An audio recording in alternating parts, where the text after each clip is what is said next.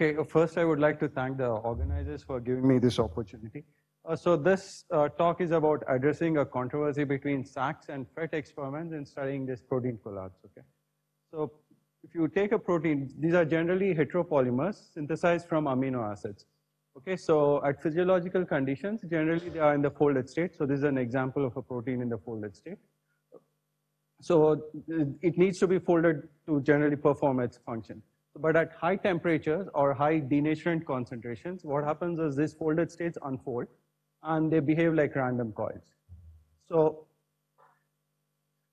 so, so in the random coils, uh, so now uh, experimentalists generally use temperature and denaturant both to unfold these proteins. So now what you can do is you take a random coil, so uh, and the other important factors, they use urea and guanidinium, so I want to mention this to, uh, as denaturants. So now you take a protein in a random coil in a high denaturant concentration, and what you do is you dilute it to close to zero molar. Then now the protein is in an environment which is conducive for it to go to the folded state. So now the question is what happens to the protein dimensions in the first 100 microseconds? This is called the burst phase of folding. So that is studied by, uh, so here you have a protein in a high denaturant concentration. It exhibits this Flory exponent. To be exact, it's 0.588. But so now it's in a random coil. So in a high denaturant solution, now you are diluting the denaturant close to zero molar. So now the question is, within this first 100 microseconds, which is called the burst phase of folding, do you see a compaction in the protein dimension?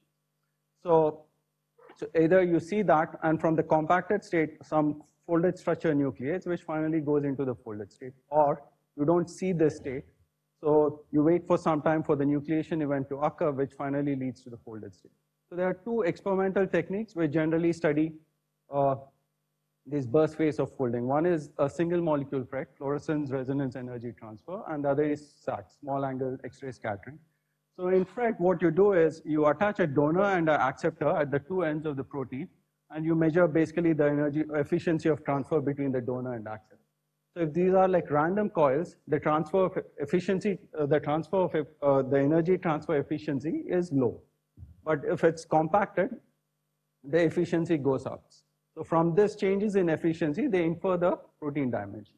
In SAXS, using the standard Guinier analysis, you can basically get the radius of gyration. So the radius of gyration is nothing but if the protein has n monomers, so it's, uh, and Ri is the position of each monomer, and RCM is the center of mass of the protein.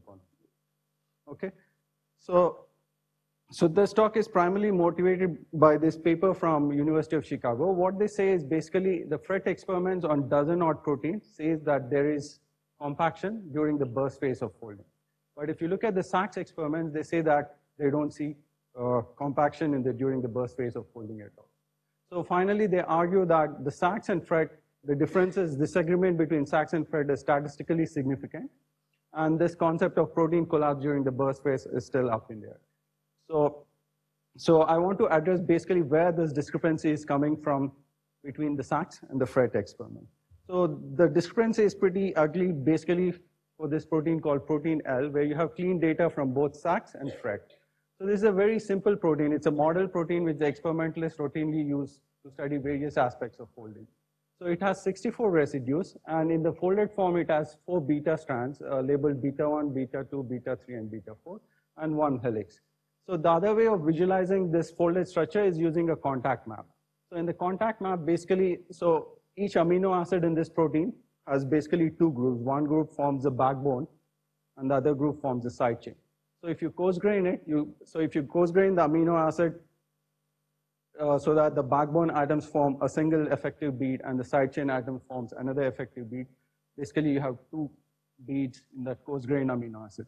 So you have 64 residues here. So if you coarse-grain it, you'll have 128. So what I'm plot, plot, plotting is uh, the bead numbers on x-axis and y-axis. And if the two beads in the folded structure are less than a cutoff distance, say 8 angstroms, uh, you put you get a data point here. So basically, if you look at the strands beta 1 and beta 2, in the folded state, they are very close. They are in contact. So that's, that's where the contacts appear.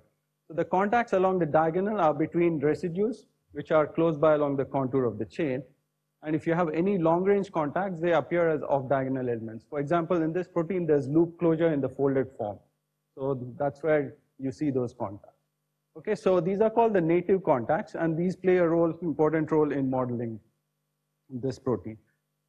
So this is the data. I'm showing you the data from SAXS and SMFRET. So what you're seeing is the radius of gyration as a function of guanidinium hydrochloride. This is the denaturant which is used to denature the protein. So at high denaturant concentrations, the RG is high, that means the protein is in the unfolded state. So now what I'm doing is they are diluting the guanidinium hydrochloride. So there are two sets of FRET experiments. One is from the Gilad Haran's group at Weizmann, and this is from Eaton's group at National Institutes of Health in US. So this first experiment shows that there's a 12 angstrom compaction in the protein dimensions during the burst phase as you dilute the denaturant. Whereas the other set of experiments shows that there's only six angstrom. So the so although these experiments are done on the same protein with the same dyes, uh, the discrepancy, the reason for the discrepancy between the experiments is not clear yet. So basically, uh, FRET experiments conclude that there is some compaction in the protein dimensions as you dilute the denaturing. But this is SAXS data, which is shown in solid squares. So there's essentially, they say that there is no compaction in the protein dimensions. So I'm trying to address, understand the source for this discrepancy between these two experimental techniques.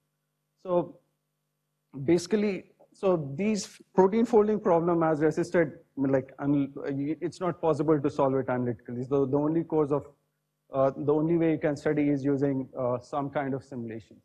But even these proteins, they fold on a millisecond time scale. So only if you want to model this at an atomistic resolution, there are only two, three groups in the world which has the hardware to simulate that long.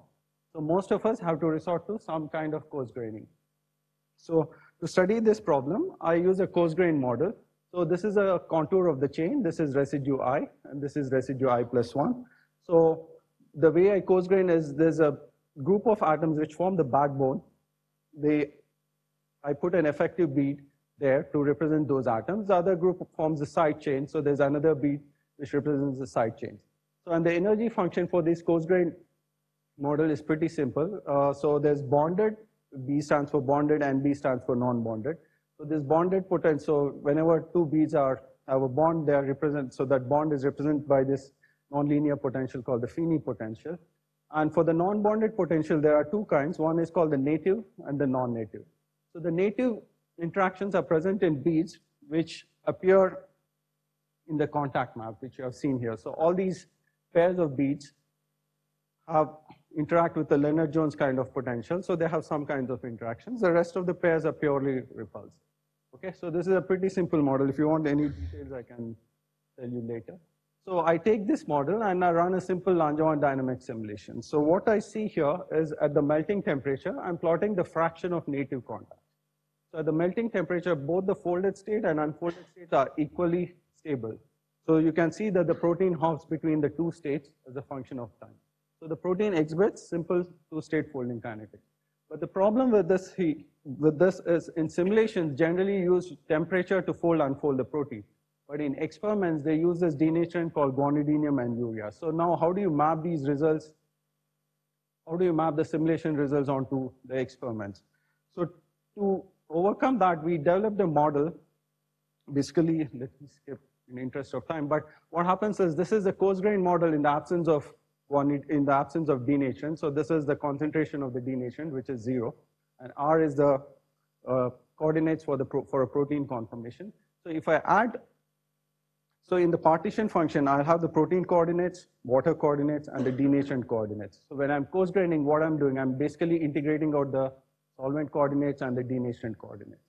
So if I do that, this term appears, which is the free energy of transferring a protein conformation from water to a denaturant solution.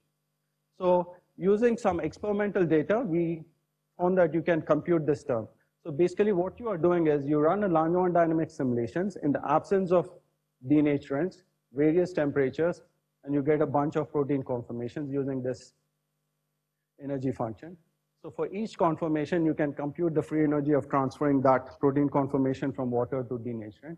Now you can use this as a perturbation to this, and you can compute if this is your any property in the absence of denaturant, Using perturbation theory, you can compute that property in the presence of a denaturant at any temperature. Okay, so this is a basic, simple idea. So once you do that, so now I'm comparing the data. So this is the FRET data. So this is the fraction of the protein in the folded state as a function of denaturant concentration. So at low denaturants, the protein is fully folded, and in the high denaturant states, the protein is unfolded. So this is data from three experiments, and the red triangles are the simulation data. So there's a very good quantitative agreement between simulations and experiments. And this is the SAXS data where they measure RG as a function of the guanidinium hydrochloride. Again, you see a very good agreement between both simulations and it. So this of validates the model to understand the source of discrepancy between the SAXS and FRET. So now we go back and look at the FRET data. So this is the FRET efficiency for the efficiency of transfer, energy transfer between the donor and the acceptor dyes, so which are attached to the two ends of the protein. Okay, so that is computed using an equation called the Förster uh, equation. So this PRRE is the end-to-end -end distribution because the dyes are attached to the two ends of the protein. So I need this end-to-end -end distribution. Uh, RE is the, again, the end-to-end -end distance. And R naught is the Förster radius, which is a property of the two dyes. And L is the contour length of the protein. So, so using this equation, we compute the FRET efficiency. So these red dots are the simulation data, and the green squares is one set of experiments, and the cyan diamonds are the second set. So we agree very well with one of the experiments. And the error bars are pretty high because we, this tells you that the protein in the unfolded state is really sampling wide conformations, okay? So there's a huge range in the conformations it's sampling. So now what we do is so this is what the experimentalist measures. So from the FRET efficiency, he's trying to infer or get back the size of the protein. So the way he does is, so it's a pretty difficult life for an experimentalist because he knows the FRET efficiency and he needs a distribution. So it's an inverse problem for, for the experimentalist. So what they assume is they assume that the polymer, that the protein follows a Gaussian chain statistics. Okay, so they use the Gaussian chain end-to-end distance, and from that you can infer RG from the end-to-end -end distance square. So we exactly followed the, what the experimentalist did, and this is, I'm plotting RG as a function of guanidinium hydrochloride. So this is the radius of gyration in the blue diamonds, which we get if you follow the experimentalist protocol, and this is the green squares is the experimental data. So it's a very good quantitative agreement between both, but the advantage I have is using, since I've run a simulation, I know the protein conformations explicitly. So I go back and compute the radius of gyration directly. So that is the red squares. So what's happening here is the FRET, due to the assumption of the Gaussian chain statistics, is overestimating the compaction of the protein. And the other interesting thing is, as you increase the guanidinium concentration, the divergence between uh, the real data and the FRET estimated data is increasing. So to understand why this is happening, of course, the discrepancy is coming from this distribution. So we plot the actual true distribution for the end-to-end -end distance uh, from the Gaussian chain. This is the fit, and this is the actual true distribution. So at low concentrations, the averages are fine, but the widths are, uh, with the width, there's a discrepancy in the width. So since I'm interested in this, I not only need the average, right, but also the width of the distribution. Since the averages are okay here, so the discrepancy is small at low concentration, but if I go to high concentrations, both the there's a mismatch in both the averages as well as the variance. So that's why the deviation between the FRET estimated RG and the real RG is increasing as a function of guanidinium. So basically the idea is the FRET is overestimating RG because of, yeah. so, so the FRET is overestimating RG because of the Gaussian chain approximation. So if you look at the SAXS data, so this is actual SAXS experiments. So if you look at this uh, data, so what they found is this part of the data you can fit either with a line of slope zero or a line with slope 0.33 angstrom per mole. So if you, this is a simulation data, so we, if you, we can fit the data here with a slope of 0.36. So the way the SAXS experiments infer there's no collapses, there's three data points here. These are the experimental data points in black triangles, one, two, three. So they compared the data at four, uh, four molar concentration, and they compared this with one molar, and 0.5 molar approximately. They said there's no statistical, I mean, there's no difference in between the data points here, so they said there's no compaction. But if you compare again with our data, which is at four here, and if you compare this, there's only one angstrom difference, so which is really within the statistical uncertainty. So you see some compaction, but the compaction is so tiny that is, that is, it is within the statistical uncertainties of the SAXS experiment. Okay, so let me just conclude. So this FRET, the, so the disagreement between FRET and SAXS is because the FRET uses this Gaussian chain polymer assumption to infer the size of the protein uh, from the efficiency. It turns out to be a bad approximation uh, because these are not really Gaussian chains. And uh, since the experimentalists have used a very small protein, the compaction is really small and that is within the statistical uncertainty of the SAXS. So thank you. Any questions?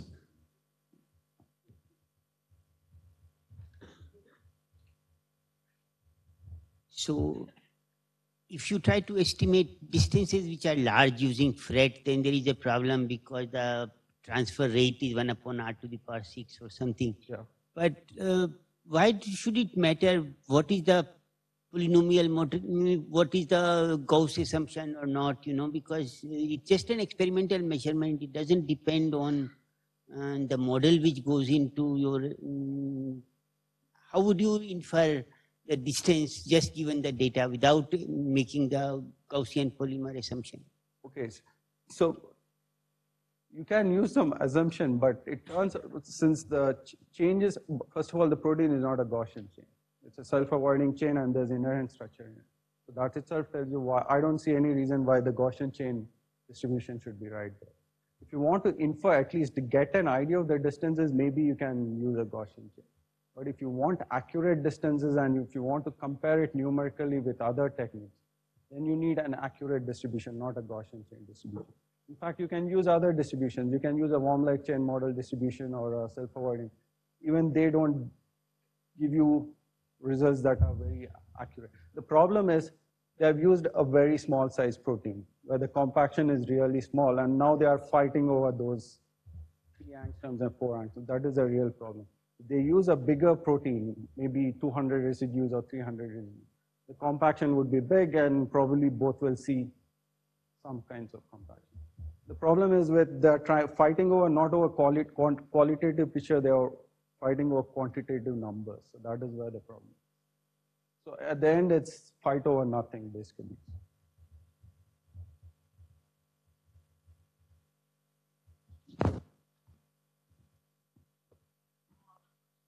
relate